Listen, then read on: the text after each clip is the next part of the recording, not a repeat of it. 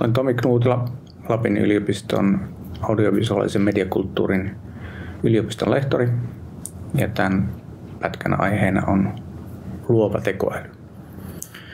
Tekoälyterminähän on 50-luvulta lähtien jo ollut käytössä, mutta vasta tässä niin 50 vuoden ajan on ollut käytössä semmoisia tekoälyalgoritmeja ja tarpeeksi nopeita tietokoneita, jotka pystyvät myös generoimaan varsinkin kuvamateriaalia.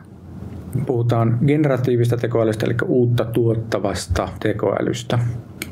Voidaan tuottaa tekstiä, kuvaa, ääntä ja jopa videomateriaalia nykyalgoritmeilla. Eli algoritmi on siis toinen sana tietokoneohjelmalla. Tämänhetkiset tekoälymallit, jotka pystyvät tuottamaan kuvamateriaalia, on opetettu valtavalla määrällä kuvia. Lion B-datasetti, joka on monen näiden takana, koostuu lähes kuudesta miljardista kuvasta.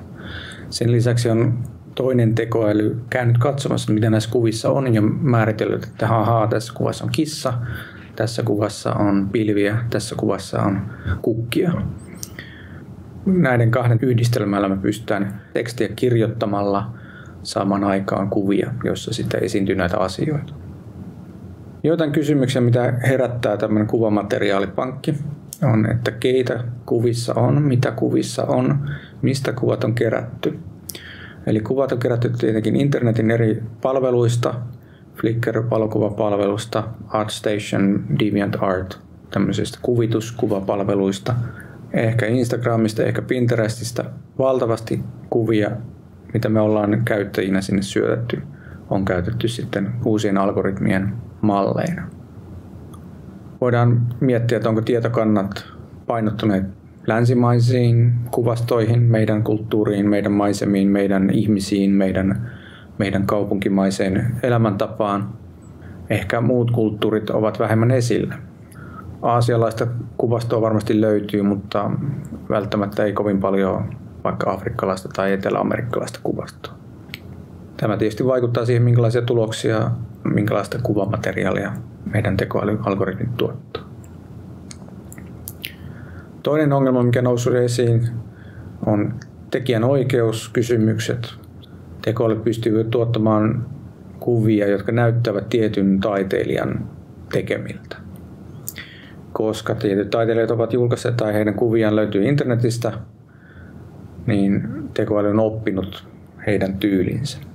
Ja tämä aiheuttaa ongelmia taiteilijoiden välillä, varsinkin niiden, jotka on vielä elossa, jos tekoälyllä saadaan tuotettua hyvin samankaltaisia kuvia, mitä he itse ovat tehneet.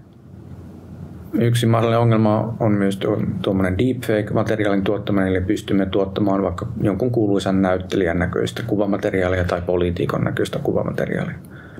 Koska he ovat paljon esillä mediassa ja julkisuudessa, heistä on paljon kuvamateriaalia ja mitä todennäköisemmin tekoälyalgoritmit ovat oppineet tämän kuvamateriaalin. Tämä liittyy myös äänen käyttöön, eli samalla tavalla kuin pystymme opettamaan, miltä joku henkilö näyttää, vaikka joku näyttelijä, niin samalla tavalla voimme opettaa, että miltä joku näyttelijä kuulostaa. Luulenkin, että tekoälyalgoritmit muuttuvat eettisempään suuntaan. Tälläkin hetkellä on joissakin tietyissä kuvien jakamispalveluissa mahdollisuus pistää rastiruutuun, jos et halua, että kuvaasi käytetään tekoälyopettamiseen.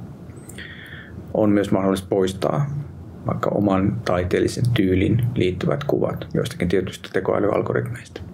Keskustelua käydään myöskin mallien tasa-arvoisemmasta esityksestä eri sukupuolia, ikiä, rotuja ja niin edelleen kohtaan. Varmasti seuraava kehitysvaihe, josta nähdään jo esiasteita, on videokuvan tuottaminen. Eli tällä hetkellä pystytään tekemään vaikuttavan näköisiä kuvia, valokuvia tai vaikka maalauksia. Mutta videokuvan tuottaminen on vielä haastavaa. Kuvia tuottavalla tekoälyllä on paljon kuitenkin potentiaalia.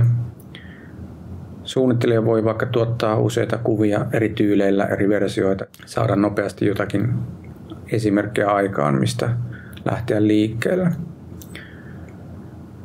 Voisi olla hauskaa vaikka muuttaa oma kuva vaikka sarjakuvaksi tai vaikka vesivärimaalaukseksi tai origamiksi. Tällä hetkellä kuvien tekemistä voi kokeilla erilaisissa nettipalveluissa ja sovelluksissa, niin ei välttämättä tarvitse omia kuvia syöttää. ja osa palveluista on maksuttomia ainakin alkuvaiheessa. Rahalla saa usein sitten nopeampaa ja parempilaatuista kuvamateriaalia tuotettua. Täytyy muistaa, että tekoälyä käytetään paljon arkipäivässä. Tämmöinen kuvia tuottava tekoäly on yksi pieni pintaraapaisu. Jos navigoidaan kartalla paikasta A paikkaan B, niin tekoäly laskee meille optimaalisen reitin. Jos katsomme elokuvia Netflixissä, niin algoritmi ehdottaa meille seuraavia elokuvia tai TV-sarjoja. Tai vaikka jos tiedustelemme säätä Aleksalta, Cortanelta tai Siriltä, niin tekoäly toimii siinä meidän puheen tunnistajana. Tekoälyä löytyy muun muassa kuvan käsittelyohjelma Photoshopista, jossa on olemassa tämmöisiä neural filters tekoälypohjaisia kuvanmuokkaustapoja. Onkin siis oletettavaa, että nykyiset kuvatuottamisalgoritmit voivat sisältyä tulevaisuudessa jo olemassa oleviin sovelluksiin. Tekoäly siis toisaalta nostaa esiin monia ongelmia, mutta toisaalta antaa myöskin mahdollisuuksia.